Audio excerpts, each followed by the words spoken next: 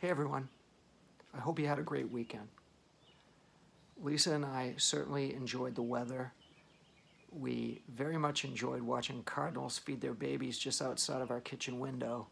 And a big treat was this morning getting a visit from our favorite Old English Bulldog duo, Murph and Mellow. Uh, it was a real treat. Marie Forleo is an entrepreneur and a self described optimist. And she once said that success doesn't come from what you do occasionally, it comes from what you do consistently. And in our industry, and as part of the Chalmers family community based organization, we've chosen to provide a distinctive client service experience that requires us to be local, convenient, accessible, empathetic, knowledgeable, and as important as any of those, consistent. Some may skew perfection as being in the same category as consistency. And um, that can't be further from the truth. In fact, uh, consistency is far more important than perfection. Um, consistency when we're making those outbound calls to offer reviews or to obtain communication updates from our clients whether we're organizing and running a Chalmers Cares program, offering valuable resources to our clients like InsureLink or even our 24 7 claims number. And certainly when we're reviewing policies and endorsements for quality and intent.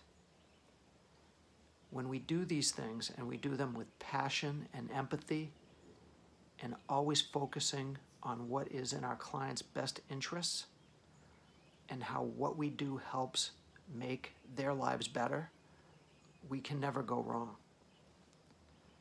Sometimes the desire for perfection becomes the fear of needing to be perfect. And it often leads to unnecessary pressure. It can cause emotional paralysis. It can be incredibly demotivating. The pursuit of perfection, in many ways, is selfish. And I believe that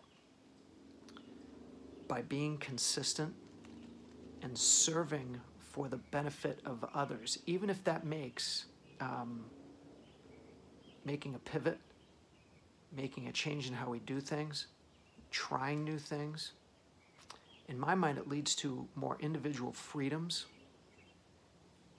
And it's incredibly important in my mind that everybody understand that by being consistent and doing things that are important for both our organization and for our clients on that basis, it leads to far more personal and professional development and success over time. Please take a look at the shout outs below. Um, being recognized for helping others and making others better is incredibly inspiring. I look forward to seeing you in your offices very soon. Um, in the meantime, let's have a great week, Chalmers Nation. Thanks.